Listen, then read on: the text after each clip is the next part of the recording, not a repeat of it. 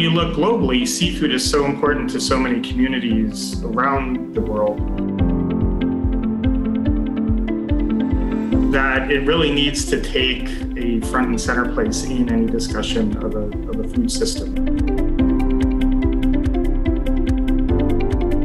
It's very integrated global market, and so it's you kind of get this uh, situation where if we release some pressure in one place, or maybe we reduce some one problematic ingredient, some other industry might just be using it instead. So you, it's it's really um, not quite as simple as I think some people might think.